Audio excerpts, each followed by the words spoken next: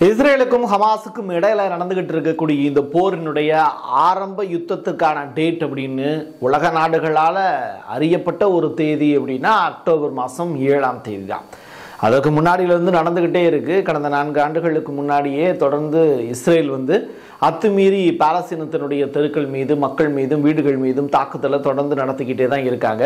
இந்த அக்டோபர் ஏழுக்கு பிறகு தான் உலகத்தினுடைய பார்வையில் அந்த பாலஸ்தீன மக்கள் அனுபவிக்கக்கூடிய துயரங்கள் என்னென்ன அப்படிங்கிறது ஒட்டுமொத்தமாக உலகத்துக்கு வெளிச்சம் போட்டு காண்பிக்கப்பட்டது. இப்போ இந்த அக்டோபர் மாதம் ஏழாம் தேதி இந்த சூப்பர் நோவா அப்படிங்கிற பாலைவன திருவிழா வந்து இஸ்ரேல் நடந்துச்சு. இந்த ஹமாஸினுடைய போராளிகள் வந்து இஸ்ரேலில் எந்த இடத்துல தாக்குதல் நடத்தலாம் அப்படின்னு சொல்லிட்டு வான்வெளியில் ஆராய்ச்சி பண்ணிக்கிட்டே இருந்தப்போ இந்த சூப்பர் நோவா அந்த மியூசிக் ஃபெஸ்டிவல் இருக்கு இல்லையா? அந்த டயத்தில் வந்து அவங்க யதார்த்தமாக தான் அட்டாக் பண்ணாங்க அப்படிங்கிற மாதிரியான ஒரு இன்வெஸ்டிகேஷன் ரிப்போர்ட் ஒன்று சேனல் டுவெல் அப்படிங்கிற இஸ்ரேலிய டெலிவிஷன் ஒன்று ரிப்போர்ட்டாக ஃபைல் பண்ணியிருக்கு. இது அங்கே இருக்கக்கூடிய இன்வெஸ்டிகேஷனில் இப்போ தான் அதை கண்டுபிடிக்கிறாங்களாம். நான் நினச்சேன் இன்னும் ஒரு பத்து வருஷம் கழிச்சு தான் இஸ்ரேல் இதை கண்டுபிடிப்பாங்க அப்படின்னு. ஆனால் இப்போவே வந்து இதை கண்டுபிடிச்சிருக்காங்கன்னு சொல்கிறாங்க இதுலேயும் எந்த அளவுக்கு இஸ்ரேல் சொல்லக்கூடியது உண்மை அப்படிங்கிறது நமக்கு தெரியாது.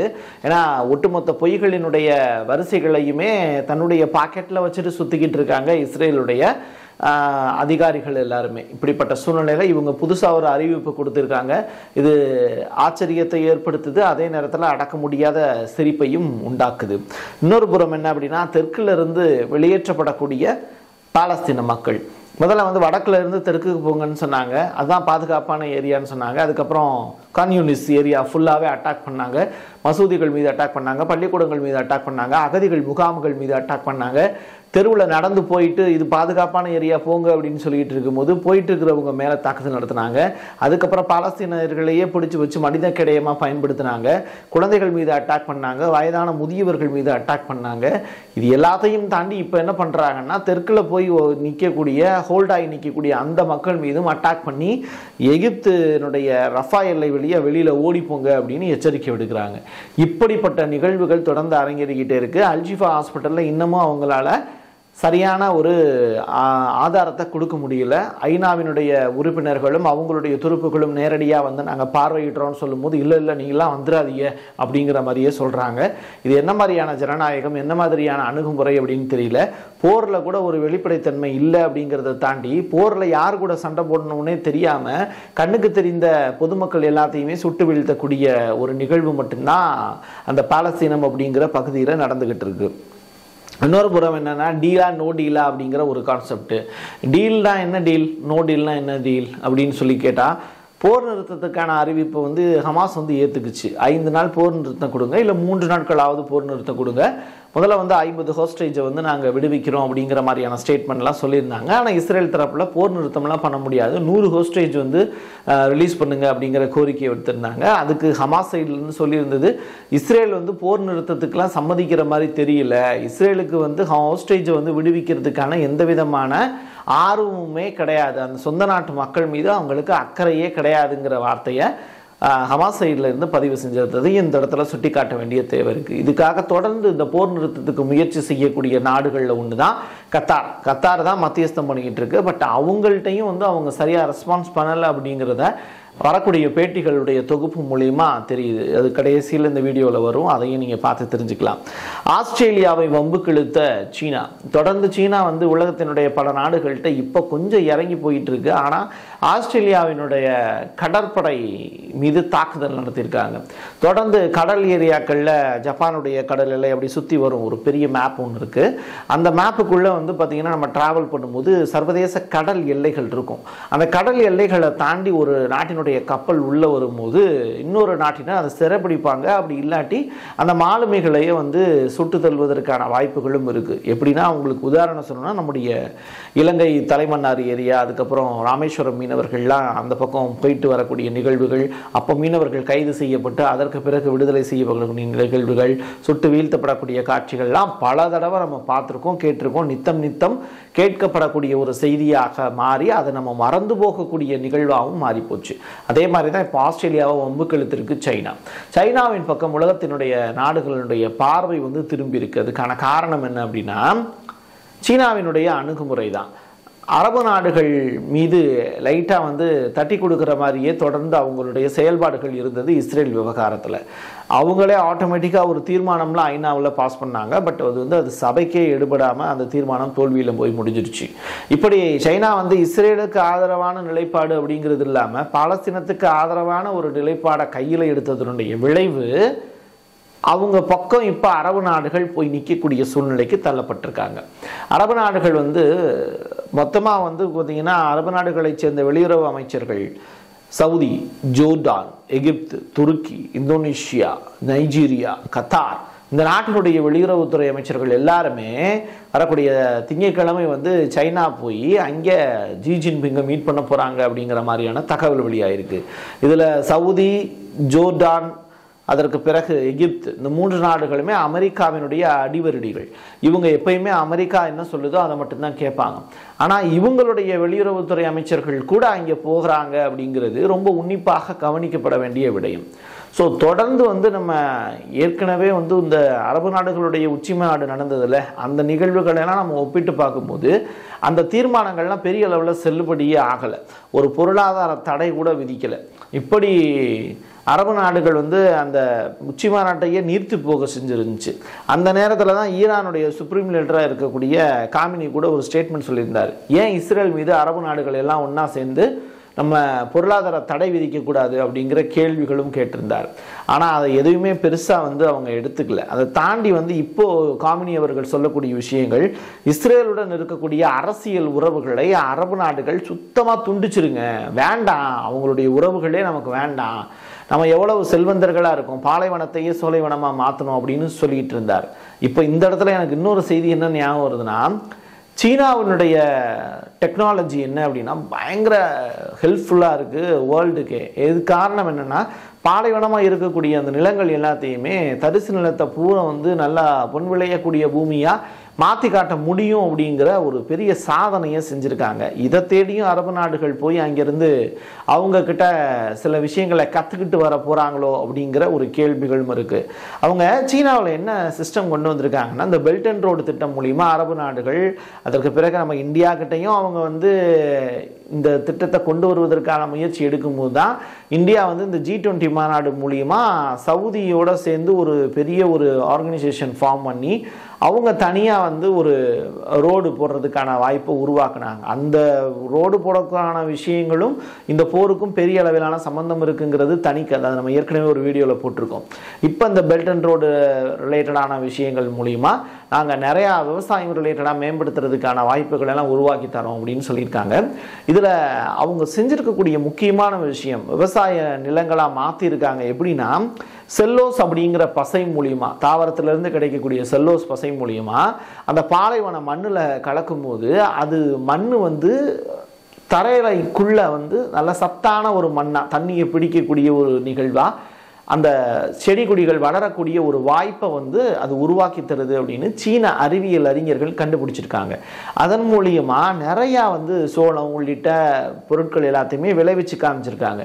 இதை பார்த்து ஆச்சரியப்பட்ட அரபு உலகம் ஆகா இது நல்ல ஐடியாவாக இருக்கே அப்படின்னு சொல்லிட்டு அதை தெரிஞ்சுக்கிறதுக்காகவும் அரபு நாடுகள் அங்கே போகிறதுக்கான வாய்ப்புகள் இருக்குது அப்படின்னு சொல்கிறாங்க ஸோ முப்பத்தைந்து லட்சம் சதுர மைல் வந்து நிலம் இருக்குது ஆனால் அதில் பன்னெண்டு சதவீத நிலம் மட்டும்தான் வந்து சீனாவில் வந்து விவசாயத்துக்கு ஏற்ற நிலமாக இருக்கிறதுனால இப்படி ஒரு திட்டத்தை வந்து சைனா ரொம்ப காலமாக ட்ரை பண்ணுச்சு. இப்போ அது சக்ஸஸ்ஃபுல்லாக வந்து அந்த ரேட்டை வந்து எட்டியிருக்கு அப்படின்னு சொல்லப்படுது. ஸோ அரபுலக நாடுகள் வந்து இந்த இஸ்ரேல் பாலஸ்தீன மேட்டரை பற்றி பேசும்போதும் சரி அதோட சேர்த்து வந்து இந்த விஷயங்களையும் விவசாயம் சம்பந்தப்பட்ட விஷயங்களையும் தெரிஞ்சுக்கிட்டு போகிறதுக்கான வாய்ப்புகளும் இருக்குது ஸோ சீனாவோட அவங்களுக்கு ஒரு நெருங்கிய உறவு ஏற்படுவதற்கான பிரகாசமான வாய்ப்பு இருக்குது ரஷ்யா தொடர்ந்து வந்து அணு ஆயுத சோதனைகளை தொடர்ந்து செஞ்சுக்கிட்டே இருக்குது அதே நேரத்தில் அவங்களுடைய வாக்னர் படை கண்டிப்பாக ஹமாஸுக்கு துணையாக வருமா அப்படிங்கிற கேள்வி வெகு காலமாக கேட்கப்பட்டுக்கிட்டே இருக்குது இப்படிப்பட்ட சூழ்நிலையில் ஹமாஸ் அடுத்த கட்டமாக வந்து இந்த ஹோஸ்டேஜை விடுவிக்கக்கூடிய நிகழ்வு அப்படிங்கிறது அரங்கி அரங்கேறும் அதில் ரஷ்யாவினுடைய அந்த ஹோஸ்டேஜும் விடுவிக்கப்பட்டாங்கன்னா அடுத்து வந்து இப்போ எப்படி சீனா வந்து இறங்கி வருதோ அதே மாதிரி ரஷ்யாவும் இந்த ஹமாஸுக்கு ஆதரவாக பாலஸ்தீன மக்களுக்கு ஆதரவாக போரிடக்கூடிய வாய்ப்புகள் இருக்குது அப்படின்னு சொல்லப்படுது. இன்னொரு புறம் என்ன அப்படின்னா ஐம்பதாயிரம் மருத்துவர்கள் அமெரிக்காவில் ஒரு பெரிய போராட்ட காலத்தில் குதிச்சிருக்காங்க. என்னப்பா இவ்வளோ பெரிய இவ்வளோ மருத்துவர்கள் எங்கிருந்து இருக்காங்க? ஐம்பதாயிரம் மருத்துவர்கள் அமெரிக்காவில் பாலஸ்தீனத்துக்கு ஆதரவாக இருக்காங்களா? அப்படின்னு சொல்லிட்டு ஒரு பெரிய கேள்விகள் எழும். ஏன்னா அந்த பாலஸ்தீனத்தில் காசா ஏரியாவில் மருத்துவர்கள் அவ்வளோ துன்பங்களையும் துயரங்களையும் அனுபவித்து நிறையா பேர் இறந்தும் போயிருக்காங்க. மருத்துவர்கள் செவிலியர்கள் ஐநாவினுடைய ஊழியர்கள் எல்லாருமே இறந்து போயிருக்காங்க. இப்படி முக அகதிகள் முகாம்கள் மீதும் தொடர்ந்து வந்து இஸ்ரேல் வந்து மனிதத்தன்மையற்ற செயல்களை செஞ்சுக்கிட்டு இருக்கு. இதன் ஒரு பகுதியாக உங்கள் ஒட்டுமொத்தமாக வந்து பார்க்கும்போது ஏபிஹெச்ஏ அப்படிங்கிற அந்த ஒரு அமைப்பு. இது வந்து ஆயிரத்தி எண்ணூற்றி அறுபத்தி ஒன்றுலேருந்து அமெரிக்காவில் இயங்கிட்டு இருக்காங்க இவங்க எல்லாமே மருத்துவர்கள் தான். மருத்துவர்களுக்கான ஒரு கூட்டமைப்பு. அந்த கூட்டத்தில் வந்து மனித உயிர்கள் எவ்வளவு விலை உயர்ந்தது அப்படிங்கிற ஒரு விஷயத்தை மையப்படுத்தி பேசியிருக்காங்க. அதே நேரத்தில் இந்த மனித உயிர்களுக்கு பாதுகாப்பற்ற நிலையாக இருக்கக்கூடிய காசா பாலஸ்தீனம் ஏரியாக்களில் அதுக்கு காரணமாக இருக்கிறது இஸ்ரேல் தான். ஸோ சர்வதேச சட்டங்கள் அவங்க மீறி இருக்காங்கன்னு சொல்லிட்டு தொண்ணூறு சதவீத மருத்துவர்கள் ஓட்டளிச்சிருக்காங்க. இதன் காரணமாக வந்து அமெரிக்காவே ஆடி போய் நிற்குது மருத்துவர்கள்ட்டையும் சப்போர்ட் இல்லை. காங்கிரஸினுடைய சபையிலையும் சட்டம் சப்போர்ட் இல்லை. உலக நாடுகளும் பெரிய அளவில் இஸ்ரேலுக்கு கை கொடுக்கல. இப்படிப்பட்ட சூழ்நிலையில் அமெரிக்கா போரை நிறுத்துங்க அப்படின்னு சொல்லியும் இஸ்ரேலுடைய பிரதமர் கேட்கல அப்படிங்கும்போது அவருக்கு மனநிலை பாதிப்பு அப்படிங்கிறது உறுதியாக இருக்குங்கிறது இதன் மூலியமாக தெளிவாக தெரிகிறது. தொடர்ந்து வந்து இஸ்ரேல் நாட்டிலையுமே பிரதமரை மாற்றிருங்க அப்படிங்கிற சூழ்நிலை கருதி பிரதமரை மாற்றிருங்கன்னு அதனுடைய எதிர்க்கட்சி தலைவர்கள் வந்து தொடர்ந்து குரல் எழுப்பக்கூடிய காட்சிகளையும் நம்ம வீடியோவாக பதிவு செஞ்சுருந்தோம். இது எல்லாத்துக்கும் காரணம் அதுவும் வந்து அவர் பிரதமரை மாற்றுங்க நாங்கள் எதிர்கட்சியிலேருந்து ஒரு ஆளை சஜஸ்ட் பண்ணுறோன்னு அவங்க சொல்லலை. உங்களுடைய லிக்குட் கட்சியிலேயே யாராவது ஒரு ஆளை பிரதமராக மாற்றுங்க ஏன்னா அவருடைய அணுகுமுறை சரியில்லை அப்படிங்கிறத எதிர்க்கட்சி தலைவர்கள் சுட்டி காட்டுறாங்க இப்படி ஒரு இப்படி எப்படி சொல்கிறது ஒரு பிரதமரை மாற்றுங்க அப்படின்னு எதிர்க்கட்சி தலைவர்கள் மட்டும் கிடையாது ஒட்டுமொத்த உலக நாடுகளுமே அவரை பற்றி தெளிவாக தெரிந்து கொண்ட நபர்கள் எல்லாமே எதர்னியாக யார் அப்படிங்கிறது அவங்க எல்லாருக்கும் கிளியர் கட்டு தெரிஞ்சு போச்சு. இப்படிப்பட்ட ஒருத்தரை வச்சுட்டு போர் பண்ணுறது அப்படிங்கிறது ஒரு இஸ்ரேலும் தோற்று போயிடும். அந்த நாடும் தோற்று போயிடுச்சு அந்த நாட்டினுடைய வணிகமும் டவுன் ஆயிடுச்சு டோட்டலாக வந்து இது இஸ்ரேலுக்கு ஒரு நெகட்டிவ் இமேஜை ஏற்படுத்திக்கிட்டு இருக்கக்கூடிய ஒரு போராக தான் இதை பார்க்க முடியுது. ஆனால் அப்பாவி உயிர்கள் ஏன் பலியாகணும் அப்படிங்கிற உலகளாவிய கேள்விகள் தான் இப்போ பெரிய அளவில் கேட்கப்படக்கூடிய ஒரு கேள்வி. அது விரைவில் போர் நிறுத்தம் அப்படிங்கிற ஒரு அறிவிப்பு வெளியாகி இந்த பாலஸ்தீன மக்களுக்கு மீள்குடியேற்றம் அப்படிங்கிற ஒரு விஷயத்தையும் செய்தாக வேண்டிய தேவை இருக்கு. ஈரானுடைய சுப்ரீம் லீடர் பேசின விஷயத்தையும் இந்த இடத்துல மறுபடியும் ஒரு தடவை நம்ம நினைவுபடுத்த வேண்டிய தேவை இருக்கு. பொருளாதார தடை அப்படிங்கிற வார்த்தையை. யார் மீது? இஸ்ரேல் மீது. கிரிக்கெட் வேர்ல்டு கப் ஃபைனல் வந்து இன்னைக்கு நடந்துக்கிட்டு இருக்கு. நடந்துக்கிட்டு இருக்கக்கூடிய இந்த நேரத்தில் விராட் கோலியை வந்து நேரடியாக போய் ஒரு நபர் வந்து கட்டிப்பிடிக்கக்கூடிய நிகழ்வுகள் வந்து காட்சிப்படுத்தப்பட்டது. அவர் பக்கத்தில் போய் நிற்கிற மாதிரி. அவர் முகமுடி அணிஞ்சிருக்காரு. திருதுப்புன்னு வந்து அகமதாபாத் அந்த ஸ்டேடியத்துக்குள்ளே நுழைகிறாரு ஒரு லட்சத்தி முப்பத்தி ரெண்டாயிரம் பேர் வந்து அந்த இடத்துல அமர்ந்திருக்காங்க. கிரிக்கெட் விளையாடக்கூடிய அந்த இருபத்தி இரண்டு பேரையும் சேர்த்து தான் அம்புட்டு பேரும் அந்த ஒரு நபரை மட்டுமே பார்த்துக்கிட்டு இருக்காங்க. அவர் என்ன பண்ணுறாருன்னு அவர் பாலஸ்தீனத்தினுடைய கொடியை வந்து டிஷர்ட்டில் தாங்கியிருக்காரு. உள்ளே உள்ள அவர். கரெக்டாக கோழி விளையாடிக்கிட்டு இருக்கக்கூடிய அந்த நேரத்தில் உள்ள என்றாகி பாலஸ்தீனத்துக்கு ஆதரவாக தன்னுடைய அந்த பதிவை பதிவு செய்திருக்கிறார். அதற்கு பிறகு போலீஸார் வந்து அவரை கைது பண்ணி கூட்டு போயிட்டாங்க. பட் உலகத்தினுடைய அட்டென்ஷன் வந்து பார்த்தீங்கன்னா பாலஸ்தீனத்தின் மீது பதியணுங்கிறதுக்காக அந்த பாலஸ்தீனத்தினுடைய கொடியை வந்து தன்னுடைய டிஷர்ட்டில் அணிஞ்சு உள்ளே என்ட்ராயிருக்கார் இதுதான் வந்து ரொம்ப சுருக்கமாகவும் முக்கியமாகவும் பார்க்கப்பட வேண்டிய கேள்வி. ஸோ வேர்ல்டு கப் ஃபைனல் அப்படிங்கிறது கிரிக்கெட் ரசிகர்கள் உலகத்தில் ஏராளமான பேர் இருக்காங்க. ஸோ ஜென்டில்மேன் கிரிக்கெட் அப்படின்னு சொல்லிட்டு சொல்லப்படக்கூடிய விஷயங்கள் எல்லாமே உண்மையிலேயே ஜென்டில்மேனாக நம்மெல்லாம் இருந்தோம்னா அந்த கொடியை சுமந்து ஒருத்தர் உள்ள வழியோடு வந்திருக்காருன்னா அந்த வலியும் வேதனையும் நிறைந்திருக்கக்கூடிய நபர் அந்த மக்களுடைய துயரத்தை அந்த இடத்துல கொண்டு வந்து சொல்லக்கூடிய ஒரு தூதுவராக தான் நம்ம பார்க்கணும். நிறைய நாட்டில் வந்து தூதுவர்கள் இருக்காங்க. அவங்க எதுக்காக தூதுவர்களாக இருக்காங்கங்கிறது அவங்களுக்கே தெரியாது. ஆனால் இந்த ஒரு தனி மனிதன் தன்னுடைய ஜனநாயக அடிப்படையில் வந்து தன்னுடைய அந்த எதிர்ப்பு குரலை அவர் பதிவு செய்யாமல் அதே நேரத்தில் அடையாள சின்னமாக உள்ளுக்குள்ளே வந்து ஒரு பெரிய விழிப்புணர்வை ஏற்படுத்திட்டு போயிருக்கிறதா தான் நம்மளால் பார்க்க முடியுது. இன்னொரு பக்கம் வந்து செய்தியாளர்கள் செய்திகளை கொண்டு போய் சேர்க்கக்கூடிய ஒரு நபர்கள். அவங்களால தான் உலக மக்களுக்கே செய்திகள் வந்து கிடைக்கிது.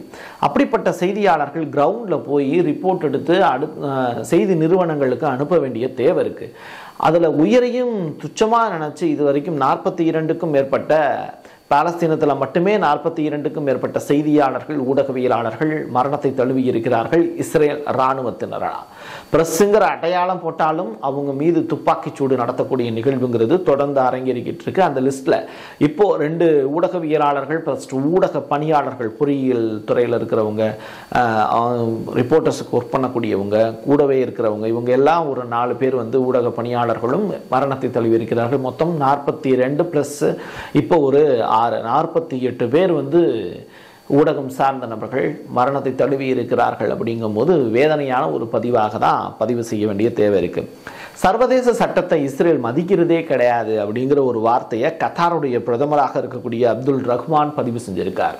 என்ன இவ்வளவு காட்டமான ஒரு பதிவு இவர் பதிவு செஞ்சுருக்காருன்னா தொடர்ந்து கத்தார் தான் ஹமாஸோட பேச்சுவார்த்தை இஸ்ரேலோட பேச்சுவார்த்தை நடத்திக்கிட்டு இருக்கு. இது எதுக்குமே உடன்படாத ஒரு வேலையை இஸ்ரேல் தொடர்ந்து செஞ்சுக்கிட்டு இருக்கு. போரை நிறுத்தக்கூடிய ஐடியா இஸ்ரேலுக்கு இல்லவே இல்லைங்கிறது இதன் மூலியமாக தெளிவாக தெரியுது. ஜோர்டானுடைய அவருடைய அந்த பிர மன்னர் கூட வந்து இரண்டாம் மன்னர்னு சொல்லுவாங்க. அந்த அப்துல்லா கூட அவர் கூட என்ன சொல்லியிருக்காருன்னா தொடர்ந்து வந்து ஐநாவினுடைய ஊழியர்கள்ட்ட தொடர்ந்து குரலை பதிவு செஞ்சுக்கிட்டே இருக்கார். இங்கே வந்து என்னத்துக்கு தான் ஐநா ஐக்கிய நாடுகள் சபை அப்படிங்கிறது இருக்கீங்க? தொடர்ந்து இவ்வளவு பெரிய பிரச்சனைகள் நடந்துக்கிட்டு இருக்கு. ஐக்கிய நாடுகள் சபை வெறுமன கண்டனங்களும் தீர்மானங்களும் நிறைவேற்றுவதோடு உங்களுடைய பணி முடிஞ்சு விட்டதா? இவ்வளவு நாடுகள் எதிர்ப்பு தெரிவிச்சிருக்காங்க. தீர்மானங்கள் நிறைவேற்றப்பட்டிருக்கு. ஐநா ஊழியர்கள் உங்களுடைய ஊழியர்களே கொலை செய்யப்பட்டுக்கிட்டு இருக்காங்க. அப்படி இருந்தும் நீங்கள் மௌனமாக இருப்பது மனித சமூகத்திற்கு எதிரான ஒரு செயலை நீங்களும் சப்போர்ட் பண்ணுறதா தான் நாங்கள் புரிஞ்சுக்க முடியுங்கிற வார்த்தைகளை பதிவு செஞ்சுருக்காங்க. இப்படி தொடர்ந்து வந்து எல்லா பக்கமும் கண்டன குரல்கள் எழுந்தாலும் இஸ்ரேல் தொடர்ந்து அல்ஷிஃபா மருத்துவமனையில் இருக்கக்கூடிய மக்கள் மீது தாக்குதலை நடத்திக்கிட்டு இருக்கு. ப்ரீமெச்சூர்டு பேபிஸ்பாங்க அந்த குழந்தைகள் எல்லாமே உள்ளுக்குள்ள அவ்வளவு சிரமங்கள் அனுபவிச்சுக்கிட்டு இருக்காங்க. மின்சாரம் தடை குடிநீர் கிடையாது கழிவு நீர் தொட்டியை உடைக்கிறது அதுக்கப்புறம் ஜென்ரேட்டர்கள் இல்லாமல் பண்ணுறது இப்படி ஏகப்பட்ட அட்டூழியங்களை செஞ்சுக்கிட்டு இருக்கக்கூடிய இஸ்ரேல் இராணுவத்துக்கு அந்த கடிவாளம் போடுறதுக்கு யாருமே இல்லை அப்படிங்கிறது தான் யதார்த்தமான உண்மை. ஹவுதியினுடைய கிளர்ச்சியாளர்கள் இஸ்ரேலிய கப்பல் மீது இனிமேல் அட்டாக் எந்தெந்த இடத்துலலாம் நீங்கள் கொடியை பறக்க விடுறீங்களோ கப்பல் மீது அந்த கப்பல்கள் எல்லாமே வந்து அட்டித்து உடைக்கப்படும் அப்படிங்கிற வார்த்தைகளை பதிவு செஞ்சுருக்காங்க. தொடர்ந்து வந்து அதன் மீதான தாக்குதல்கள் இந்த ஹவுதி ஏமனில் இருக்கக்கூடிய ஹவுதி கிளர்ச்சியாளர்கள் நடத்திக்கிட்டு இருக்காங்க. லெபனான்லேருந்து தொடர்ந்து அட்டாக் ஹிஸ்புல்லா படையினர் இஸ்ரேலுடைய தெற்கு பக்கம் நடந்துக்கிட்டு இருக்கு அப்படிங்கிற தகவல். அமெரிக்கா ஒருபுறம் சிரியா மீதும் ஈராக் மீதும் தொடர்ந்து அட்டாக்கை நடத்திக்கிட்டு இருக்கு. ஏர் ஸ்ட்ரைக் மூலியமாக தொடர்ந்து தாக்குதல்கள் அங்கொன்றும் இங்கொன்றுமாக நடந்து கொண்டிருக்கக்கூடிய வேளையிலே தெற்கு காசாவையும் தாண்டி எகிப்தினுடைய கதவுகள் திறக்கப்படும் பட்சத்தில் தொடர்ந்து யுஏஇ ஐக்கிய அரபு எமிரேட்ஸை நோக்கி மக்கள் சென்று கொண்டிருக்கிறார்கள் அப்படிங்கிற செய்திகளும் வளம் வந்து கொண்டிருக்கிறேன் அடுத்தடுத்து கிடைக்கக்கூடிய அப்டேட்டோட மீண்டும் உங்களை தொடர்பு கொள்கிறேன். என் கையெழுத்து என் மக்களுக்கானது. மீண்டும் ஒரு பதிவில் சந்திக்கலாம். நன்றி வணக்கம்.